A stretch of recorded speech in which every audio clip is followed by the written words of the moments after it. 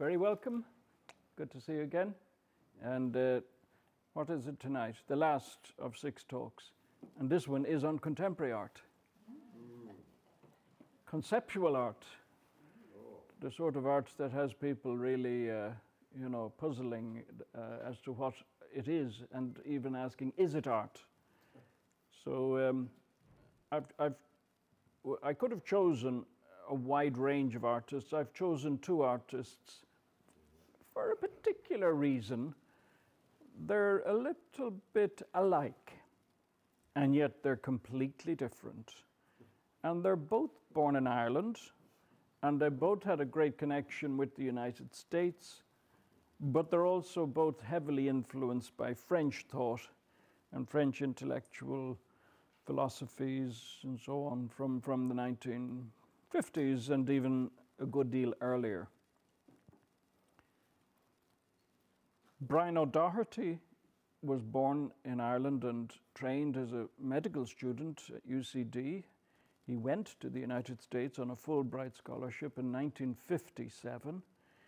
He, he didn't abandon his medical studies, but he began to shift to becoming a somebody who was really interested in art. And his work in, in Boston involved research into perceptual psychology, you know, how, how the senses apprehend uh, sight, vision, and sound, and so on. And so he sort of just moved sideways into the art world from the medical world. It was an interesting uh, transition greatly helped by his uh, partner for many years, his wife Barbara Novak, who is a former professor of art history at Columbia University. So they met in Boston in the late 50s, and they've been together ever since. Now, Brian was born in County Roscommon, small town, in 1928. So, and he's still he's still going. I met him in New York last November. He told me he had died. It was, it was evident that the, the evidence pointed to the contrary because I was talking to him. But he had been in Berlin and he had technically died, but he said the German hospital system was excellent and they had brought him back to life again. He's got a great sense of humor. Brian has, Brian O'Doherty. And um, Michael Craig-Martin was also born in Ireland, and born in Dublin. His parents were actually working in London at the time, but they were very, very avid Uh, Irish people with a strong national sentiment, if you like. So his mother was determined to return to Ireland so that he'd be born in Dublin.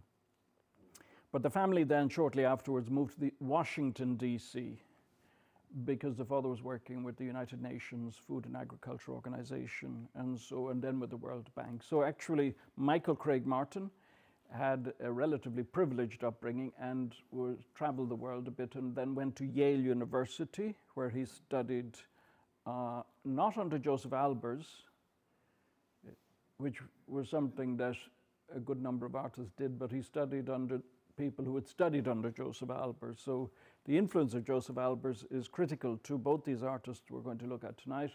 His influence comes again and again. And Josef Albers, of course, was a famous artist who started his artistic career in the Bauhaus in the 1920s and then managed to escape to the United States and um, became a, a, revered artist there. And uh, there's the, in Connecticut, there's still the Josef Albers uh, Foundation, uh, which, you know, preserves his work. And like the Collège des Irlandais, provides residencies for artists. So Nicholas Fox Weber, is, who uh, has done a lot of work on French art, is the director of that. But that's by the by. So we've, we have these two artists. Uh, of the two, um, Michael Craig-Martin, born in 1941, so he's a good 13 years younger than Michael, uh, than Brian O'Doherty. But nonetheless, there are close points of comparison, as we'll see. I'm keeping it to one hour, if that's okay. I'll try. I'll do my best. And uh, we can hopefully get this moving there. The Strange Case of Brian O'Doherty. this is an adaptation from the title of his novel written in the early 90s called The Strange Case of Mademoiselle P. But uh, Brian O'Doherty is, is an artist who has had several different identities over his artistic lifetime. And uh, among those, Sigmund Bode, Mary Josephson, William McGinn, and Patrick Ireland. You will find writings and artworks by Brian O'Doherty under all of those monikers at various points in his career. He's an art historian and uh, uh, an art critic as well as being an artist. And uh, his most famous book is probably called Inside the White Cube, which was published as a series of essays in Artforum magazine in the 1970s and then as a book. And in it, he codified the development of the art gallery that we are so familiar with today. Indeed, there's a very fine art gallery in Centre Culturel Irlandais, just across the corridor with a wonderful exhibition. And that is that white cube so instead of the Beaux-Arts tradition, instead of the old academies, instead of, of, of, of the, uh, you, you, know, the, the, the, the richly ornate galleries, which had been so familiar in, in the uh, Beaux-Arts period, you, you, you, had the evolution of the white cube. And uh, Brian O'Doherty's book is, is uh, you know, a sort of standard text describing the evolution and also the way in which the walls of those galleries began to operate as integral parts of the artwork in, in a way that was quite, uh, uh, you know, unusual. Um, he's also written books such as American Masters, The Voice and the Myth, which is a big coffee table scholarly book uh, about American artists of the 20th century. And, um, you know, he's, he's, he's got an extraordinary career because he was also like working in the 1970s with the, late 60s, early 70s with the National Endowment for the Arts, that great organization that uh, I believe is in imminent danger of having its budget completely cut. And in those days, the National Endowment for the Arts was a funding organization that gave money to artists, almost the only government funding organization in the United States, which is notoriously par par parsimonious in terms of the monies that it gives to artists believing that they should be out in the market and making their own money. Although there are obviously many foundations where private individuals have stepped in to fill that gap. But the government gives its money through the National Endowment for the Arts, certainly up to, up to recently mm, and hopefully in the future. And Brian was a program manager for the NEA, and in his time there, he introduced a new stream of funding which was completely unprecedented, and it was for performance mixed media conceptual work. It wasn't for painting, it wasn't for sculpture, it wasn't for printmaking, you know, the old standard uh, things. It was a brand new funding stream. So it could be availed of by filmmakers who are also performance artists and dancers who are also installation, working with installation, and artists who are working with sound and so on. And that was what people were doing in the late 60s. It was a conceptual art revolution. Sol LeWitt, Eva Hesse, Dorothea Rockburne, Mel Bochner, Robert Smithson, and Anne Graham. Those are just some of the artists. They're heavily influenced by Marcel Duchamp, who, as everybody knows, went from Paris to uh, Philadelphia to New York and had an enormous influence uh, on, on the development of contemporary art. Hans Richter to Robert Rauschenberg and, and John Cage, the composer, these are people who very often worked with um, sort of uh, within a minimalist aesthetic, just uh, maybe repeating things uh, or stacking things or working with cubes and grids. And uh, where did they get it all from? Here. Where else? So in 1955, the Citroën DS was launched at the Paris Motor Show, a marvelous marvelous car. It's still greatly loved, and uh, there are thousands of them still on the road. It had advanced hydropneumatic suspension, and it was a sensation. Um, 1955, Roland Barthes, the philosopher, was in his early 40s then. And Roland Barthes wrote about this car and many other things. And he described it as akin to a Gothic cathedral because it had been designed by anonymous people and built by people that nobody would ever hear of, like the cathedrals had. And yet it was kind of considered to be almost a work of art and, and revered as, as cathedrals were in the Middle Ages. So, what Barthes was actually very much involved with, people in the audience will know far more about Barthes than I do because he's integral to you know, Parisian intellectual thought of, of, of, of, of those decades. What he was trying to do was to dismantle meaning, dismantle language to separate out the different components of meaning. So the conversation that I'm having now, it's flowing along and I'm talking like this and you know you could read a book and it will be flowing along, there'll be a narrative, it'll be engaging, there are quotation marks, there'll be conversations, discussions. What Barthes did and people who worked with him and in the same time, they dismantled novels they took them apart the way you would take apart a car, and they looked at all the component parts. And uh, they analyzed them in terms of uh, rather clinical scientific uh, criteria, if you like. So Barthes studied Sarrasine, a short story by Honoré de Balzac, which is uh, quite well known uh, Sarrasine falls in love with the singer La Zam- Zambinella, and she turns out, in fact, to be a castrato, much to his dismay.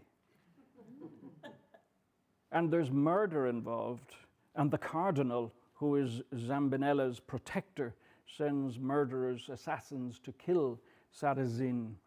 Anyway, it's, a, it's, a, it's, as you can guess, it's a fairly gothic tale, but curiously contemporary. And um, Barthes extracted from it, broke it up into its component parts as if it were a motor car and analyzed it. He wrote a book on it, which was called S stroke Z or S stroke Z.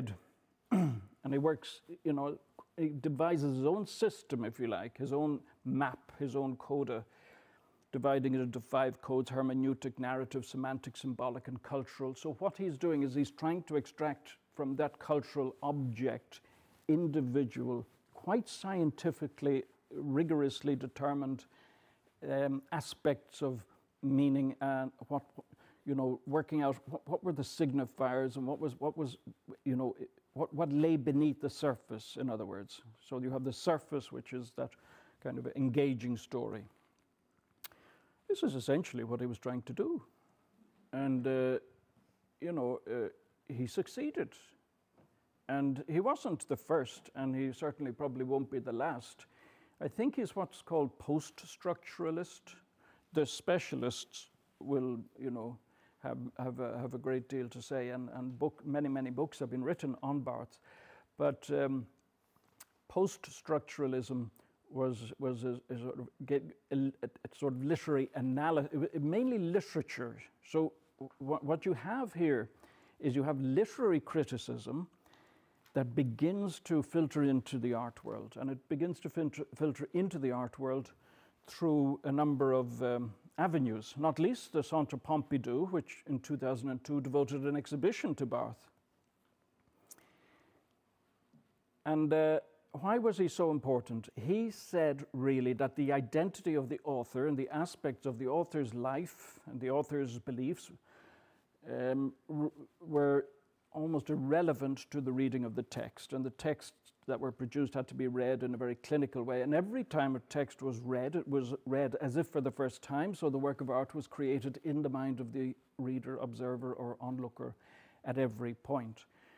Now, we've come across this before in these talks because it was George Berkeley in Ireland back in the early 18th century who worked out that the work of art is created in the mind of the observer and put that in, into his book um, um, on, on Principi.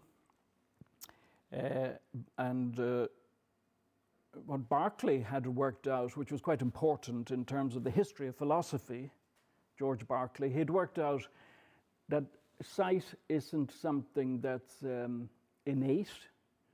It's you don't you don't uh, you have to learn to see from the earliest childhood onwards. So there are lots of experiments and conditions, you know, where people who have been blind are suddenly given the power of sight, and they actually cannot see. They have to learn how to see because the way you see is actually determined by so many cues that are learned from infancy onwards of distance, of depth, of color, of height, of length, of width, of texture, of so on, color. So this, the sensory apprehension, the notion of sensory apprehension and, the, and reality being created within the mind is absolutely what George Berkeley was on about in the early 18th century. And it's interesting that, you know, it takes, it takes maybe two centuries then, and his, his ideas are still valid, and Barthes is still, is still uh, you know, very much within that. Barthes compared texts to a tapestry woven from many threads by different, different hands. And in the, in, the, in, the new, in the New York art world, this had uh, quite a profound effect because up to this point, the dominant uh, mode of expression in terms of art in New York City was abstract expressionism, which everybody is familiar with. And that actually be, suddenly became quite old fashioned. Championed by Clement Greenberg, it's, it had had its great heyday in the 40s and 50s, but by the mid 60s, people were beginning to question it. And the notion of the artist being this sort of solitary genius, the ego in the studio, very often a man and very often tortured. All of this began to just began to look as if it was subscribing to a romantic mythologizing of what art was. And the structuralists and post-structuralists, influenced by Barthes, who was enormous, uh, you know, he, he was really a, a, very, very dominant figure at, at that time in terms of thought, they, they went in completely different directions, removing the personality of the artist as much as possible from the work, creating works that almost looked as if they'd been made by machines, and works that uh, might be made by different people together. So, this notion of the single creative genius was uh, something that was fading in 1967 its, its fading was very hel strongly helped by Brian O'Doherty, who was asked to edit a magazine, an art journal called Aspen. And he took the opportunity as editor, guest editor of this journal to put together a number of artists, some of them very well known, Morton Feldman uh, uh, and Susan Sontag and others, but he, he put together a box that contained uh, audio tapes and scores for music and uh, essays and and uh, in, and also there's even a small uh, sort of DIY sculpture by Tony Smith. And, and the people who subscribed to Aspen when they got the magazine and the post, and it turned out to be this box which they opened, and all these things fell out. Ha half of them were mystified and they threw it away. That was a great mistake because it's very valuable now. And uh, Roland Barthes uh, was asked by Brian O'Doherty to contribute an essay, and he did so. It's called The Death of the Author, and it's probably in this conversation the single most famous essay. And this was the first time it was published. Also in the magazine, you John Cage and, and Sol LeWitt and, and, and, and, others. So it was really uh, an extraordinary time in the New York art world. And, and Brian O'Doherty was at the center of it. He was uh, able to negotiate his way within the art world in an extraordinary way. I think his medical training was of considerable assistance. He had a very good manner and still has. And he was able to tie together groups that normally would never encounter one another. So the composers might be there and, you know, the, the, the, the uh, painters might be there and sculptors, and he kind of knitted them together. And would have uh, get togethers and would make them engage one with the other. And he was a great friend of Morton Feldman, who was a, a composer of, of, of the time.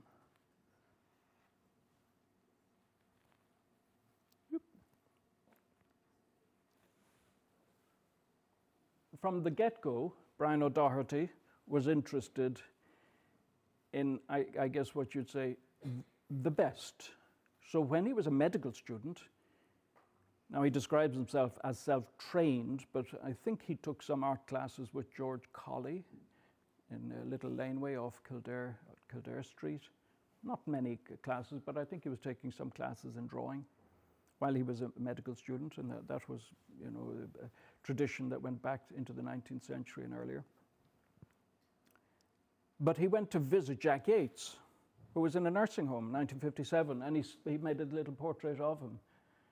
Uh, and it's, uh, it's a touching connecting point, if you like, between Jack Yeats, who we looked at um, in, in, a previous talk, and uh, Brian, Brian O'Doherty. So we, we, even at, when he was just still a medical student, he was kind of, if you like, putting himself into that straight line in, that would continue through his life and has continued.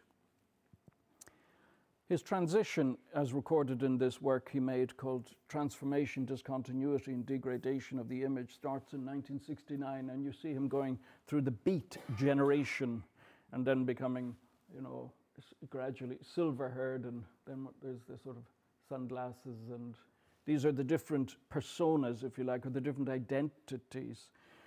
He's adamant that he has no single ego. He's adamant that his work is work that is created by a kind of collective energy. He's adamant that the uh, sense of his identity is not as important. He is a living representation, if you like, of the work of Roland Barthes. He's a living embodiment of, of the thinking that Roland Barthes had, um, had popularized in the, in the intellectual world, in the artistic world.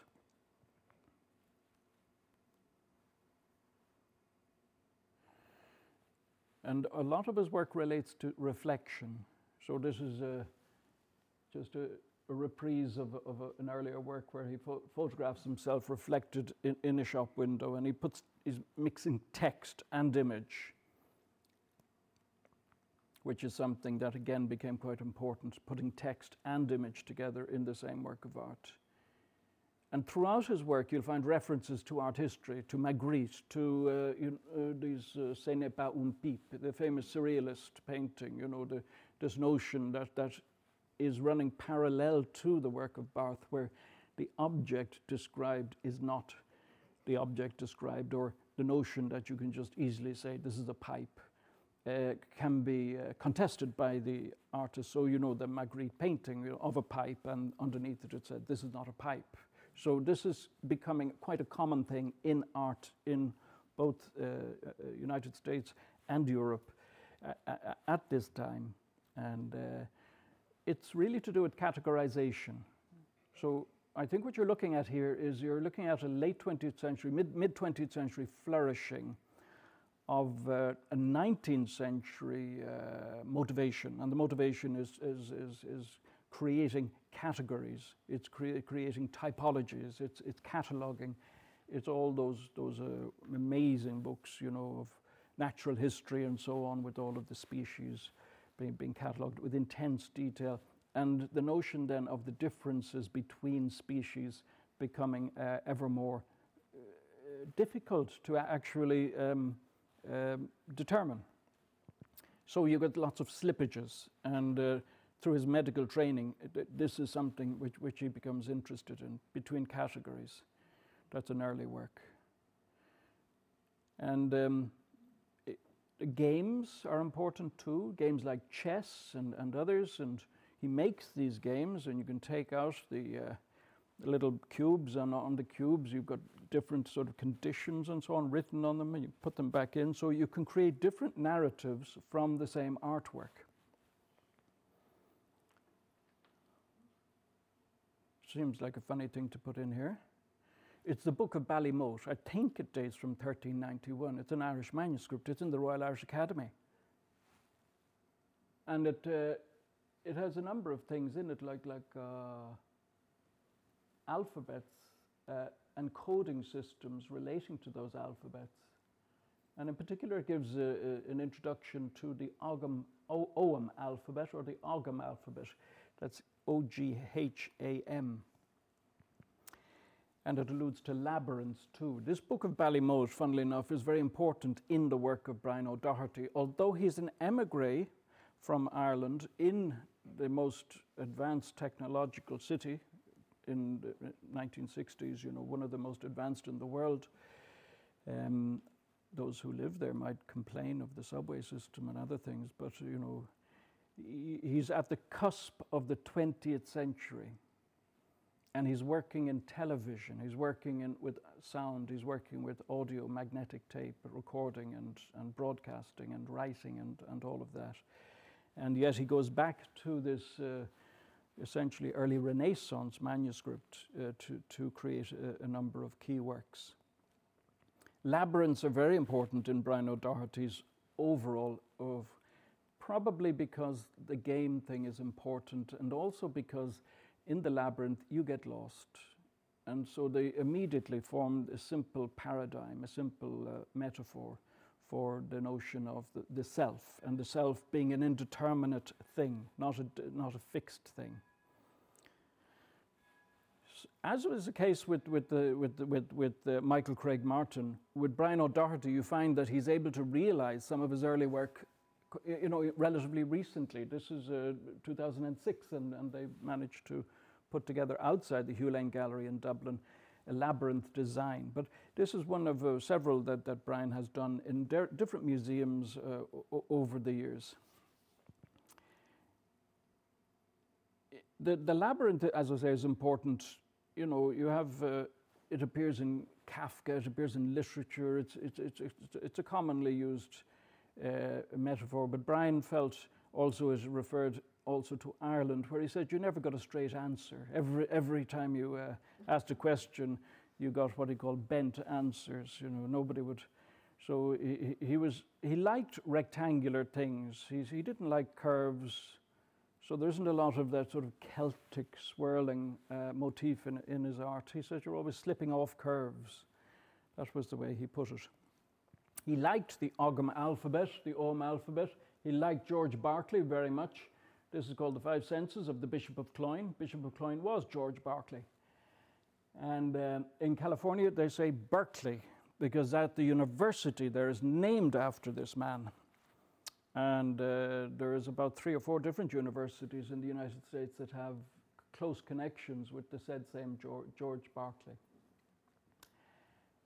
And the five senses, well, he's indicating them all there, and then he's putting them into a magic square, and this is something that appears in Dürer's Melancholia, and it, you know the magic squares where all the numbers add up to the same thing, whether they're going vertically, horizontally, and so you know it's one of these sort of numerologically significant things in, in, in art history, and he's working with color too, so there's a little bit of Albers there, and he's trying to sort of work out a mathematics, a mathematical formula, scientific formula and what he's actually doing in this, it's a game really, and the game is like, well, putting it very simply, some people are more auditory, some people are very visual, some people are very tactile, and some people, you know, have, have different combinations of, of these. Some people can smell uh, acutely and taste, and others cannot.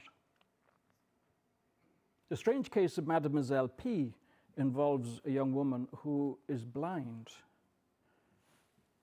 That's his novel. And uh, so you see within his writings, his novels, uh, uh, there's connections with, with, with, these works too. And then there's the, the coded, uh, the coded reference there with, with the Og Ogham alphabet. I, I, won't go into it in great detail because it's quite easy to look it up, but you, essentially you see the center spine there and you see the way the, the bars refer to particular letters. So the vowels are very important in it and you've got these strokes that go through the central axis there on the left, one, two, three, and four, and five, and uh, O, U, E, I. So where does Ogham alphabet come from? It's Irish. It's from earlier than the Book of Ballymote. The Book of Ballymote records it, you know, uh, 500 years after it had been commonly used. But it was used from, they say, um, 7th century through to, to uh, uh, late medieval times. And um, it's the people who devised it knew what vowels were because the way the marks are made distinguishes between the different types of vowels. So linguists are, are very interested in the Ogham alphabet because it, it um, you don't have sound recordings of how people spoke. But when you have coded systems like this that refer to the different way in which vowels are pronounced, then, then uh, you, you actually begin to get some quite interesting things. Remember Vallancey, our hero from the Royal Irish Academy in the late 18th century, and his mad escapades trying to prove that the round towers were influenced by Zoroastrian fire towers from India, where he was very keen on, on, on uh, Ogham. You see the inscription there, Kilmalcater. Most of the Ogham stones, the Ogham stones, are in Cork or Kerry. There are some found also in Cornwall and Sc Scotland, I think. You know, there's a scattering of them, but the great uh, uh, concentration is in the southwest of Ireland. And uh, they've always fascinated uh, not only antiquaries, but, but artists too. And um, I want to mention while we're on this that uh, Charles Vallancey was um, not alone in his researches. When he was, uh, you know, concocting these extraordinary narratives, if you like, of the history of the Irish people, you know, that they had migrated from India, bringing these Zoroastrian rituals to, to ancient Ireland with them. Uh, he was, uh, nobody has ever given great credence to, to his, his, his books or his writings. And, uh, but in Geneva in 1857, not long after Vallancey uh, had had his day, uh, a young scholar named Ferdinand de Saussure published Memoirs sur le système primitif de voyelles dans la langue indo-européenne, a dissertation on the primitive vowel system in Indo-European languages. And um, where does Barthes get his influence from? Saussure. Saussure is the origin of these philosophers who deconstructed language in the, in the 20th century. among them Derrida, Foucault, and, and, and, and, and so on. Now that's an, an Ogham stone in Kerry, and uh, you can barely see the, the marks on it. You, you, they could be highlighted with chalk or something, but um, they're memorial stones. They're very simple. The inscriptions are very simple too. Uh, they can be in Latin or Irish, and it might be, you know, more or less here is son Mac, Mac, M-A-C, M-A-Q, you know, son of so-and-so. That, that, that, that tends to be what, what they are. And what Brian O'Doherty did as a contemporary artist was he took this coding system, this serial coding system, and transformed it into sculptures such as this uh, from 1970, The Rake's Progress, and a number of other works. Uh, very similar, some of them freestanding. This one is wall mounted, where the inscription on the uh, mirrored surface of this minimalist sculpture is based on the Ogham alphabet. And you see he's playing with the reflection and you know the viewer is reflected a little bit and the work also because it's angled it reflects itself and so there's all sorts of layers of uh, meaning uh, contained within this very very simple work he's, you can see he's keen on vowels and he's keen on Ogham. And his house, Barbara and Brian have a house in, in Todi in Italy, in northern Italy, and they've decorated. He has de not decorated, he has transformed the interior into, uh, uh, you know, uh, what would the Germans call it? Un Gesamtkunstwerk, a total artwork where the house has become an artwork. And he's adapted minimalist painting, wall painting, to uh, a, a, sort of very traditional Ita- Italian uh, interior.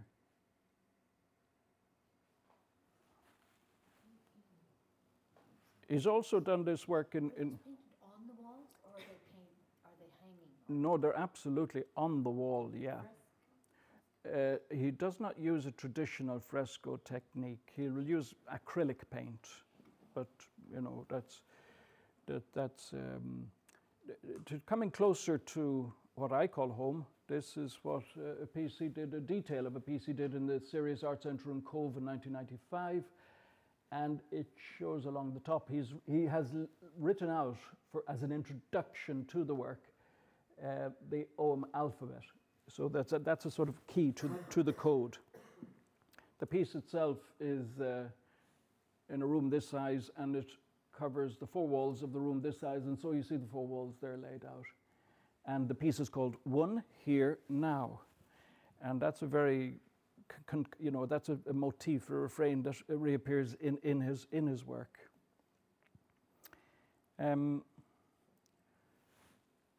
I mentioned Albers, and this is a absolutely a reference to the, the, the, the, watercolor, but with the text, he, he's, uh, he's, uh, he's entitled this work, The Sor- Sorrows of, of, of Z or Z, Z, 1968. I wonder, I don't know, I haven't uh, asked him, but is he referencing Barthes's work, you know, S, SZ? Um, it's, uh, it's an account of a person who's trapped in a box. And that box is within another box and another box, and there are five boxes. So that person in this, the, the text is rather a grim tale of somebody trapped in a series of concentric boxes or cubes, deprived of all sensory apprehension. So it's rather like, mm, uh, yeah, it's rather like Kafka, or, or, in, or I'm thinking also of Samuel Beckett you know, where his characters are uh, blind or, you know, unable to move or trapped in garbage bins or something, you know, so it's very Be- Beckettian. And, you know, remember too that Jack Yeats had that thing and was very much tuned into what Beckett was doing. So, you, you know, it, it's, it's interesting this. But with, with, with this, you're also, there's also ref, there's reference to uh, James Turrell. Uh, James Turrell, who was part of a movement called the California mm, Light and Space Movement of, the, of, of, this era, artists who worked with perceptual psychology. James Turrell would go into a, a room and block out all the light and admit only one ray of light, which would come and, uh, you know, fall on the wall. James Turrell's installations have become world famous, and his Roden crater in Arizona is, is a kind of legendary piece. Turrell would make the observer uh, submit to a form of uh, almost mental torture. Um, I remember one piece he did in Poitiers uh, about 20 years ago, where you had to dive into a swimming pool, swim underwater, and then emerge up into uh, a, a, a cube which you floated in, and then above you, the sky was open. There was a white, you were in a white room floating in water, and there was a square opening to the sky above. That was at an art centre called Confort Moderne in Poitiers. And the swimming costumes were like old bathing costumes from Victorian era. So everybody had to change, get into the bathing costume, dive in, swim underwater, and that's how you apprehend. It was not like walking into a conventional art gallery, I can tell you that. The other thing that uh, Turrell used to do was um, he, he made Ganzfeld spheres. The Ganzfeld effect is something that you know runs parallel with, with Albers in a way. Albers' book on color theory was very, very influential, putting one color beside another. But Ganzfeld in, in Germany in the 1930s was working with sensory deprivation. And essentially, if you were put into a white room with no sensory uh, apprehension whatsoever, uh, after about a few hours, your mind takes over and you begin to hallucinate. So you begin to imagine uh, things that you see or things that you hear. So the, this is the brain reacting to what, what is, um, um, you know, the brain that's used to sensory stimulation in the absence of sensory stimulation in a Ganzfeld environment when it's just this soft white light. Uh, if you stayed there too long, you'd have to be taken out like this, I'd say. A few weeks of that, you know, there wouldn't be much left of, of, of, of sanity, I would say. So people have this extraordinary need to create reality around them, and this is what these artists are working with and working towards. And they're doing so um, in, in a very, you know, co- coherent way. Although some of the individual works, when you encounter them, you would say this is really um, thing. If you want to make a Ganzfeld sphere for yourself, you don't have to go to the expense of making a giant, uh, you know, domed thing into which you're slid almost as if it's a thing. You, you can actually get a, a, you know, table tennis ball, cut it in half, put, put some string around it, and cover your eyes with two halves of a table tennis ball. That gives a good Ganzfeld effect. Try it at home. There was a book written by Lawrence Weschler, published 82. Seeing is forgetting the name of the thing one sees, and um, that that that was uh, very, uh, you know, a very influential book of, of, of the period. And uh, it was a book on Robert Irwin, another member of, of this group I've been talking about. This is the, the, the novel I referred to. So, as, as well as being artist, broadcaster, art critic, a novelist. It's the Strange Case of Mademoiselle P from 1992 recounts the tale of uh, Marie Therese Paradis. She was very well known at the time. Some people say that Mozart composed his uh, concerto for K456, uh, dedicated to her. She was blind. She was in the Austrian court. She was very talented as a musician, beautiful pianist, great singer. She came under the care of Dr. Dr. Franz Anton Mesmer. Remember Yeats's uh, cartoon of the mesmerism? And uh, his idea about the blindness of, of uh, Marie Therese Paradis was that it was psychosomatic and had been induced by, by, by, by childhood trauma. This is a fav- favorite thing in Vienna and, and, and, under Freud later too, the same. But this were in the 18th century, in 1777. So she's a real person, and uh, Brian O'Doherty bases his historical novel on her imagining what the treatments were in terms of returning her uh, ability to see and he posits also a sort of dynamic within the court of, of, of, uh, of, of in Vienna, this, uh, this Habsburg court, uh, where she was so, so, so highly thought of, so highly regarded. She trained under Salieri and, uh, you know, was a very gifted musician. And when her sight began to return, her musical abilities began to ebb and her scheming father, who was so uh, devoted to her royal pension, said, If this continues, we're going to lose our pension. And so the treatment, Mesmer's treatment, was stopped. There's, there's, a, there's a 19, 1779 treatise uh, uh, by, by, Mesmer, which was partly uh, used by O'Doherty to base his story uh, on. And um, uh, you know, el elements of, of, it are, are um, uh, based on, on, on, verifiable fact, but then he's, he's, in, he's embellished it as, as this uh, extraordinary tale.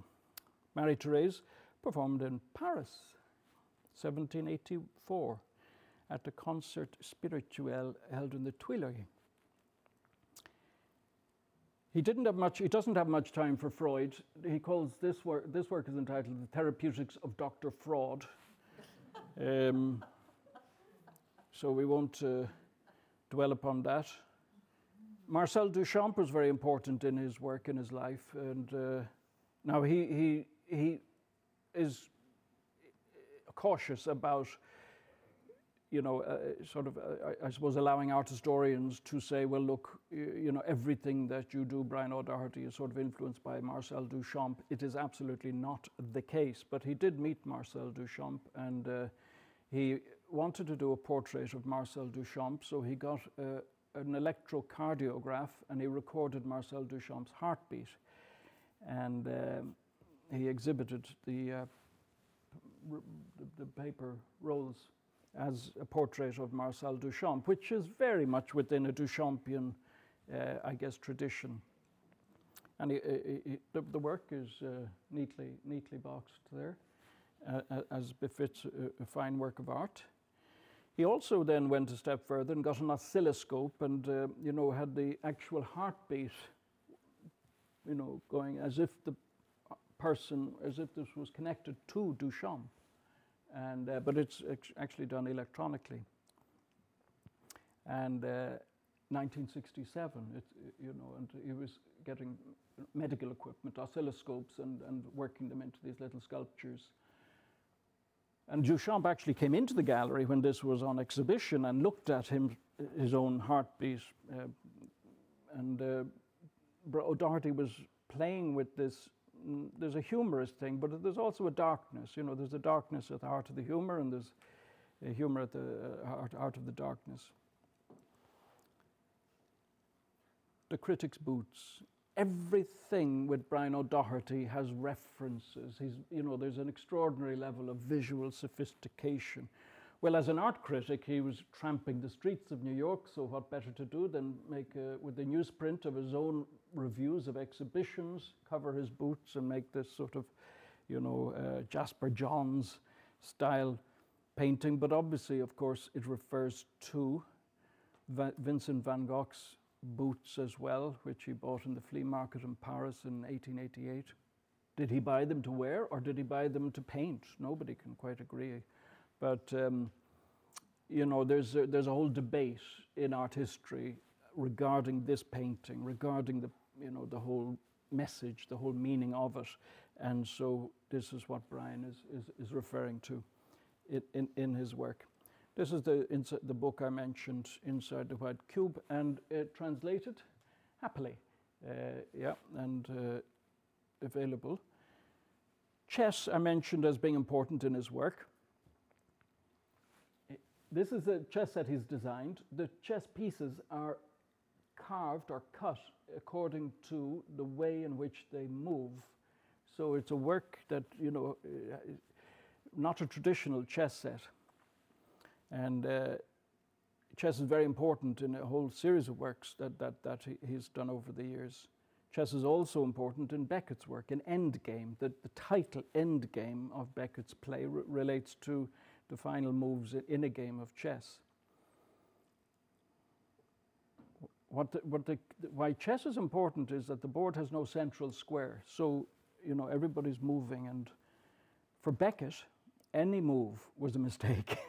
what Beckett wanted was like, make no move. I mean, his ambition was to have every piece on the chessboard at, as it was at the beginning, at the end of the game. That was his idea of success. He wanted uh, inertia, entropy. This, this was Beckett's uh, idea. And of course, in, in Endgame, you know, the, the, the, main character is blind and, uh, and crippled. You know, it's, it's, uh, it's, um, you know, it's quite a grim, it's quite a grim play. Uh, uh, uh along with Waiting for Godot, it, it's, it's probably his best known work. Patrick Magee and Jack MacGowran were uh, in the production in Paris uh, in the 1960s at the Studio des Champs-Élysées of Endgame. And I, I love these connections because Jack MacGowran, the actor, wrote an introduction to one of Jack Yeats's books. So this was clearly, you know, there was a lot happening that, that, that hasn't really been documented in terms of connections. And O'Doherty was interested in chess as this record of mental activity. He takes away the squares, he takes away the black and white, and he just leaves the moves. This is the famous game between the American chess player Paul Morphy and a team of two, the Duke of Brunswick and Count Isouard. It took place in uh, Paris, this game, in, in, in the mid 19th century, in the old opera the old opera, the one that burnt down before Garnier built the new one. And it took place in the interval of an opera called Norma by Bellini. And it's a very famous game in chess. So Morphy won. Well done. And uh, Brian takes the chess and he takes the board and he introduces, you know, performers into this, uh, these structural plays, he calls them. You're, you're, th- these are events, you know, so you're simply getting a kind of a snapshot uh, uh, uh, there. These structural plays, they're, you also call them vowel grids. And uh, they're very close to the way Beckett uses language. So, I am here now is one phrase. I am here now is another phrase. I am here now is another phrase. So, it's all of this deconstructing language. Each way the, inflection is used, it gives a, diff- a slightly different meaning. And uh, Wittgenstein, important as well in, in, in this history of thought when uh, it's, it's not a very good image, when uh, Brian O'Doherty tries to make a little por- portrait of Wittgenstein, he just takes 14 different pencils from the hardest to the softest and does exactly the same repeated image uh, with the soft pencil so that it's fading away.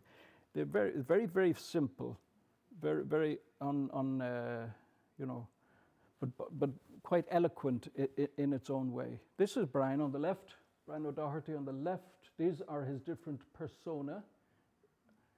Uh, Mary Josephson in the foreground there, and Sigmund Bode. Patrick Ireland in, in 1972, he took the name Patrick Ireland in a ceremony attended and assisted by Robert Ballagh, another artist in Dublin, to protest against the uh, massacre of unarmed civilians in Derry uh, by, by British soldiers that had taken place. And he said, I will never exhibit my work in England until the political situation has been resolved.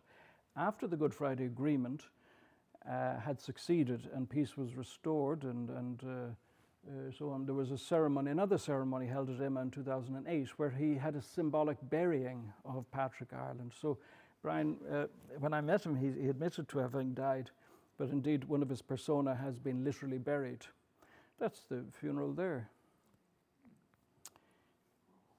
And um, Alana O'Kelly giving an oration, and, and Patrick Ireland then as a sort of ghost there. So the whole thing very reverential with the um, testimonial to the Duke of Wellington rising up in the background to remind them of Ireland's history. Drawings based on vowels, drawing based on, on, the, on this Ogham, Ogham alphabet. Beautiful drawings that he, he works uh, in a, in a way that's you know, quite mechanical, but also the tremor of his hand uh, and, and the, uh, the fact that they're handmade is very, is very, very important to them. Developing these into concepts for installations with this, you see, uh, using ropes and string in a, in a space. So this, this is part of this conceptual art movement where people went into the white cube, they, and the white cube was no longer just a gallery where you put things on the wall. The white cube was a space that itself be, could become an artwork. So in this space, a, a, a rope drawing by, by Brian O'Doherty could be created that would animate the space i- i- in an extraordinary way. And this is an early work from the uh, 1970s, which, which he remade in PS1 in, in, in New York. A, a piece from San Francisco from 75. And um, these, these are, you know, they're quite cerebral works, and his art is very cerebral. They don't immediately engage, but as you traverse through these installations, the, the, the, they're actually very carefully designed. So at certain points, the strings line up, and you know certain parts of the architecture are framed. He's he's uh, referring to uh, Finnegans Wake with this one, and uh, he's introduced again another cerebral element of James Joyce, with uh, the initials initials of Humphrey Earwicker contained within this. These, this idea of a, ment, a mental map, and um, again, nice references to Beckett. You know, remember Pozzo uh, in, in Waiting for Godot. There's a rope binding Pozzo and Lucky that shortens progressively as the play uh, advances. So he starts out with quite a long rope and then it gets progressively shorter, you know, symbolizing the way in which these characters, uh, who are constantly fighting and, and giving out to one another, are bound together.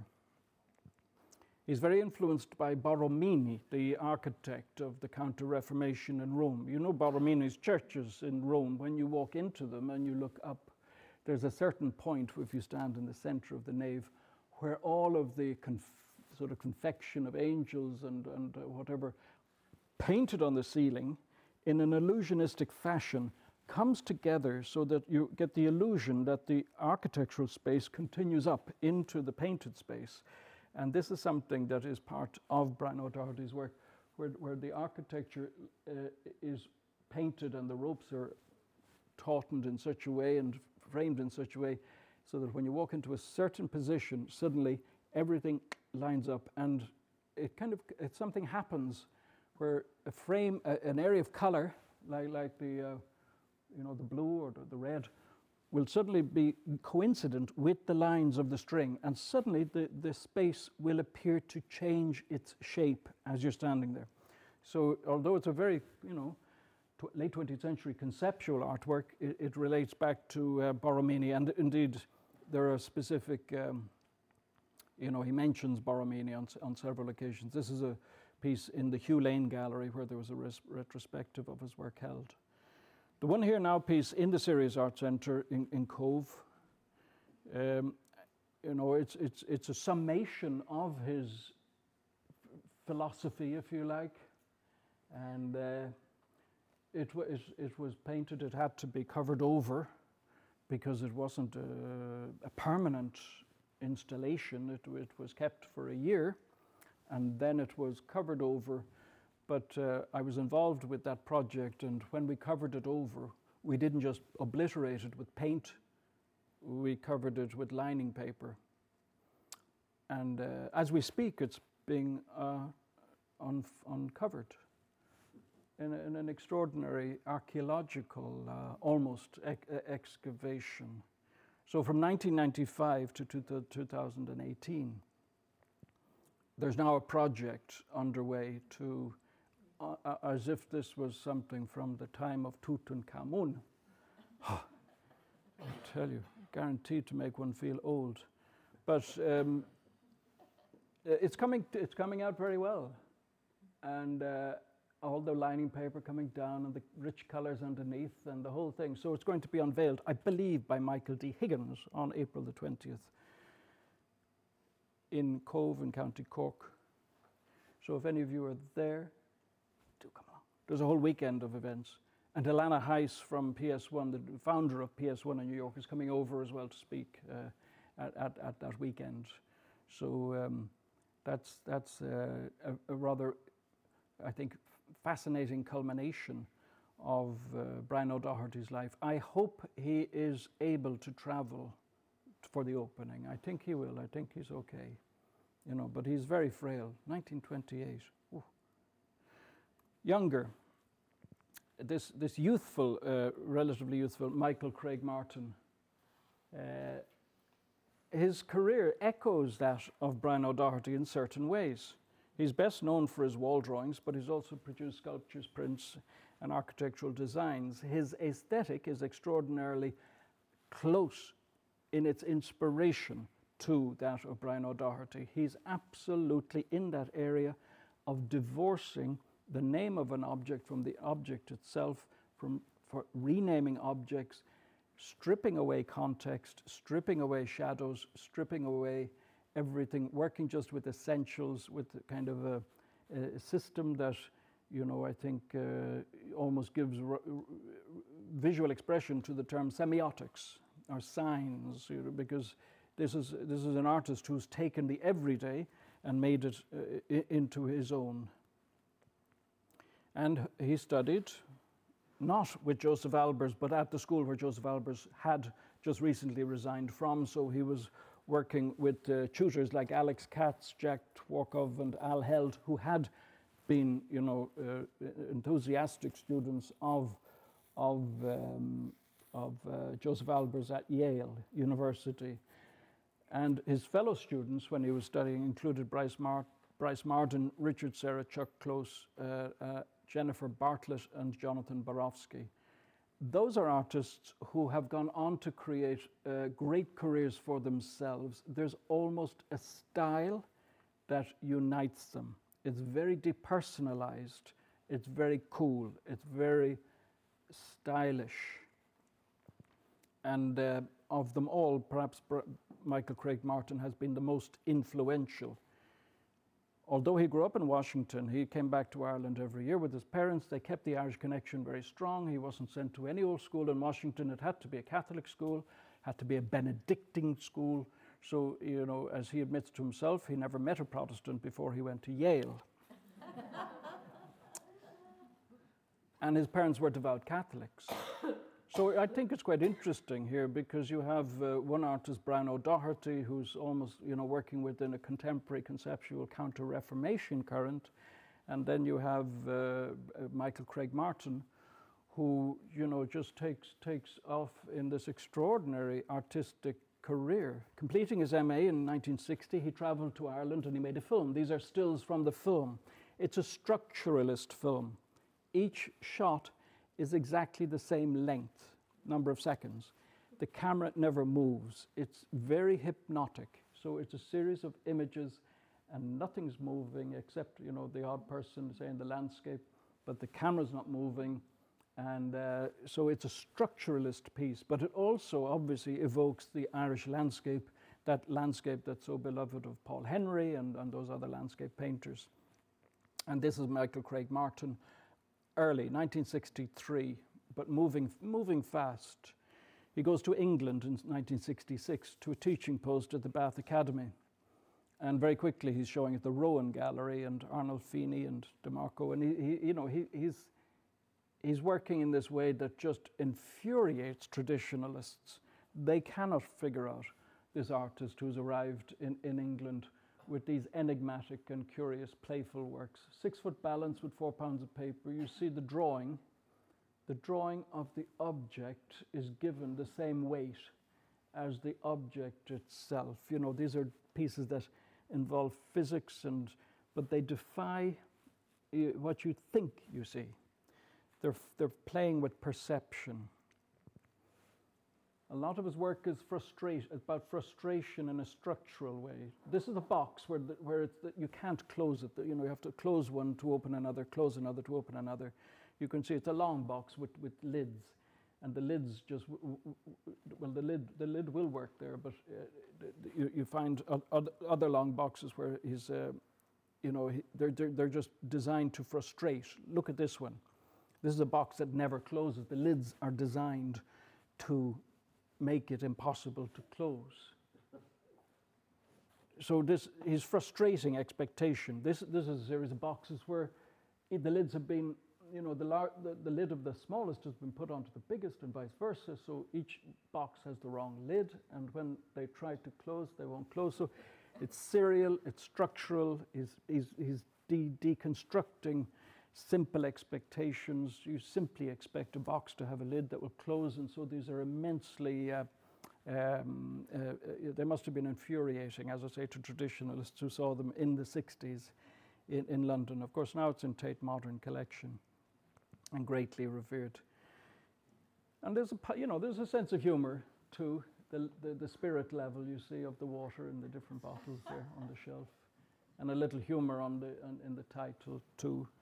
So there's a bit of whimsy, but by golly, he's quite uh, you know rigorous in in his approach. There's that say as with Brian O'Doherty, whose works never deviated much left or right from a central thread, which is that thread that of Saussure, of Roland Barthes, of structuralism and post-structuralism, and of just you know apprehending reality and uh, creating sort of systems of meaning. So also Michael Craig Martin has had that, kind of linear, unvarying uh, career that has, has, brought him a considerable distance uh, uh, on the table. You, you see the paradox here four pulleys, four ropes, four buckets full of water.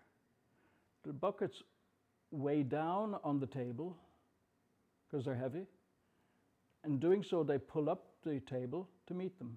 And so the whole thing is held, but there are no legs on the table. It's, it's you know, so it's, it's, it's, a, it's a visual game in a way, but it's a serious game because he's underpinning meaning. This is a very famous work, and uh, it's, it's called An Oak Tree, and he just announced that the glass of water on the shelf was an oak tree. He put it in a gallery, showed it. He said, This is an oak tree. And when questioned, you know, he, he defended his uh, right to describe it as an oak tree. It's exactly like Magritte. This is not a pipe, or, uh, and, and, and so on. So there's a long, quite precise dialogue there, questions and answers, where people are interrogating. How can you say it's an oak tree? And um, he, he never, I think he did have to deny it was an oak tree once.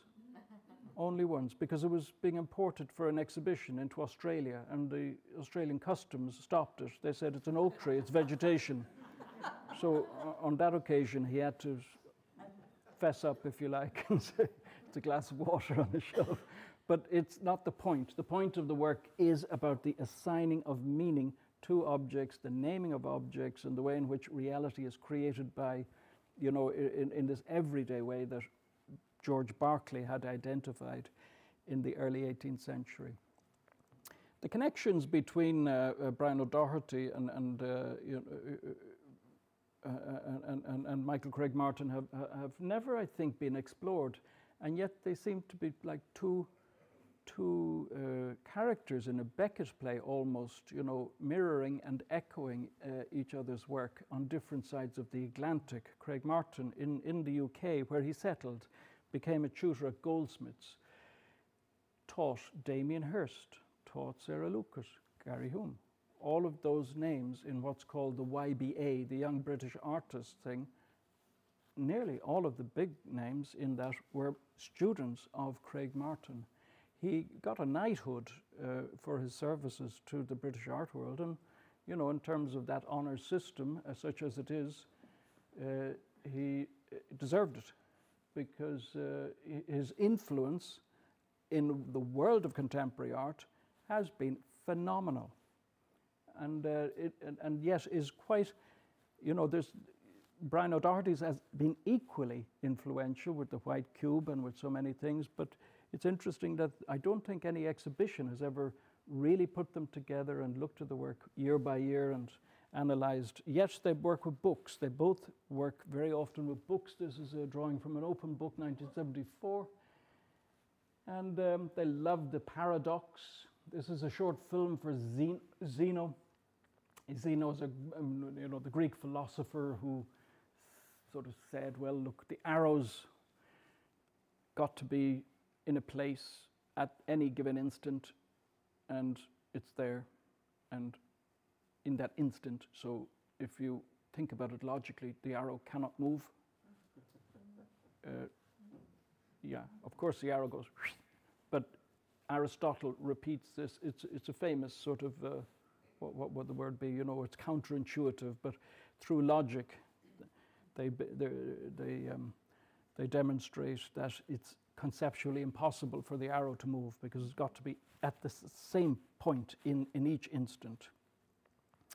Um, untitled painting could be a white minimalist canvas, but he's put a little piece of Constable into it. And, uh, you know, he's playing with art history. The thing about Craig Martin is that it's all up for grabs you know, art is very irreverent, but it's very seriously irreverent. You know, it's, it's not uh, playful uh, in a certain way. It's monumental very often. These are large drawings. These, this is really what he kind of made his name with in terms of exhibitions at the Rowan Gallery in the late 70s, early 80s. They're done with black tape on directly on the wall, the same way that we saw with, with this, this notion of the art gallery becoming the work itself. These, there's no frame on these on the wall, there are drawings of everyday objects. Now, you can look through these uh, drawings, you see, and uh, there's a whole host of them. Uh, you know, they became a sort of trademark, if you like, for Michael Craig Martin. And the objects are a sardine tin, a hammer, a sandal. You know, uh, they- they're deliberately chosen to be neutral in that sense of uh, he's trying to demystify the, if you like, the artwork, de- depersonalize it. And, uh, you know, so many of the objects you could just, there are things you wouldn't see. Because if you went into a room, you wouldn't see the fire extinguisher on the wall because it's just so normal for it to be there that you, just don't notice it. So, you know, this is a constant finding with people, I guess, you know, that they, they simply miss the obvious. And what Craig Martin does, he focuses on the obvious. Now, I will say, though, that there is a pattern. So uh, I don't think he's managed perhaps to succeed exactly in stripping himself out of the equation. Because many of the objects that he draws, they kind of represent, I think, uh, an experience of modern urban life. There's containment, there's tension, or there's pressure implicit i- i- i- in, in these selected objects. They're stripped of all context. No, uh, you know, they're absolutely rendered in this totally kind of deadpan way. And his theory is when you come up to this artwork, you look at it and you bring to it your own narratives, you bring your own ideas. And they're very playful. Sometimes he's introducing materials like steel as well or neon as well as the, the, the, the drawings. They begin to get more complex. Some of them become almost baroque, and yet they're still stripped down. Just the, you know, the ice tray from the refrigerator, a light bulb, a chair, a step ladder. But that pattern of, of modern urban life, uh, it, it, it becomes a constant in them. As well as drawings on walls of gallery, he'll do drawings and prints ba- based on those too. He does drawings with other everyday objects, Venetian blinds and is creating minimalist sculptures from Venetian blinds, just arranged, buy them from BHV and hang them, get them the right, get them made to order. And he creates monumental serial works of art, fully within that minimalist, you know, structuralist tradition, and uh, out of just things that you'd buy in a hardware store. But he, he, he becomes quite baroque as the years pass. And in 1996, you know, he's doing this sort of lurid colours. Magenta is a favourite colour of his. Richard Cork, the art critic, posits that it's his early exposure as a child to stained glass windows in the churches that he was in, that have kind of, you know, filtered through in his later years. And he's uh, now imagining himself to, to, to be in a sort of post-conceptual cathedral environment with, with stained glass, viv- the vivid colours of stained glass windows. I don't know how true that is. The, the, fire extinguisher is one of the objects that comes up again and again. Some more every day than not. We hope the handcuffs are not every day. and, uh, the, but the little um, cupboard or the you know, locker is, is very much an everyday. Very often references to the art world. We see the pipe, you know, we've mentioned it several times, Magritte. You see, you see the, the, the, the, the little urinal there, which Duchamp famously exhibited in the Armory Show in New York in 1913, signing it R. Mutt. You know, this was the idea that uh, Duchamp had that he was, um, uh, as one of the committee members of this exhibition, he was entitled to submit any work he wanted. So he just went to a hardware store and bought a urinal and put it in and signed it. I think the real story is a little more complicated. Some, there's a lot of mythologizing in the history of 20th century art, but essentially that work ha- has entered the canon of, of uh, art, and um, it's uh, Michael Craig Martin just he just harvests it almost effortlessly. These these these signs, these meanings. The, the two cans would be Andy Warhol's uh, uh, things, and and as I say, getting baroque in, in, in, in recent years. Uh, extraordinary, vivid colours and uh, the images, you know, abounding and proliferating. Very interesting work because it's attractive and live and sort of, but also very neutral and very dead at the same time. So it's very cool and yet very hot. And his puns are there, like these chair, you have to fill in the missing letter, you have to fill in the missing letter of the table, and you know, so he's still playing with these deconstructed words and letters and signs and symbols. He, his work looks great in Renaissance spaces, and he's not slow to take advantage of them. In Valencia at IVAM, you know, he creates his extraordinary interiors of, of vivid colors in, in, in this uh, Renaissance or Gothic space. And uh, it's, uh, yet you see this, this the uh, bucket there in the center, this mute rebuke to everyday expectation. In uh, Austria, in a chapel, he, he, uh, he might have come home in a way. His parents would be proud of him probably here to have create, but look at the two daggers flying in towards the thing. So it's like he never misses a trick. Michael Craig Martin, he is very clever. If you happen to have the misfortune to go to London, um, you might find yourself on the Docklands Light Railway and if you do get off at Woolwich Arsenal, because at least you'll be able to see uh, Craig Martin's uh, uh, uh wonderful murals in that station. Tokyo, that's, that's a screen he made for Tokyo. Floating World, of course, a name referring to the images of uh, ukiyo, ukiyo-e, images of the floating world from the 19th century and a hospital for children in Oxford. Look at the scale of his work now. Absolutely monumental.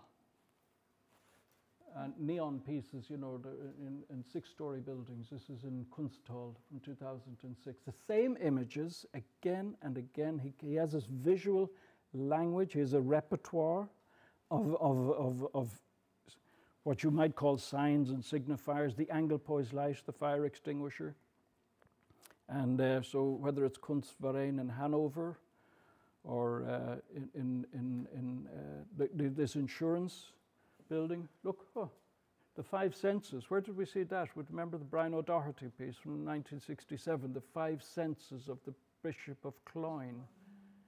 And uh, so these two artists, I think, they kind of, you know, they're always looking a little and looking a little and but he's really, Michael Craig Martin has done phenomenal uh, installations, per permanent installations. This is in, the, uh, in Luxembourg, in the European Investment Bank. And uh, it's part of a whole series of murals uh, uh, on the walls of that building, too. And in Chatsworth, he'll just poke the most delightful fun uh, at, at the, the, whole enterprise of these formal gardens with, with the steel painted pink garden fork. It's, a, it's about four, you know, four meters high. These are big pieces, and they sit in the landscape, you know, in, with this like reference to the whole bucolic uh, nature of, of these uh, la uh, landscapes of the 19th century. So I, I must apologize. I think I've exceeded the hour yet again. I hope you'll forgive me.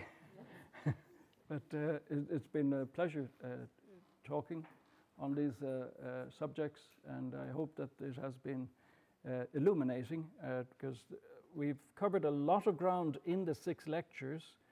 Remember, all the way from the Battle of Kinsale right through to Michael Craig Martin. Uh, and uh, we've left out about three, four, five hundred wonderful artists who could have been included. And so this is simply, this is a small gas board of contemporary, of historic and contemporary art from Ireland or with this strong Irish connection and elements that, that, that we've talked about. So uh,